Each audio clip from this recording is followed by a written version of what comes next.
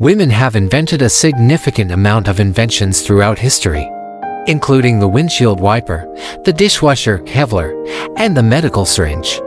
Ada Lovelace, often cited as the first computer programmer, and Grace Hopper, who developed the first compiler, have both contributed greatly to the field of computer science. Hedy Lamarr, a Hollywood actress, also played a part in the development of Wi-Fi by Co, inventing a technology that allowed radio signals to hop between frequencies. In addition, Marie Curie's work in radioactivity and her discovery of radium and polonium earned her two Nobel Prizes.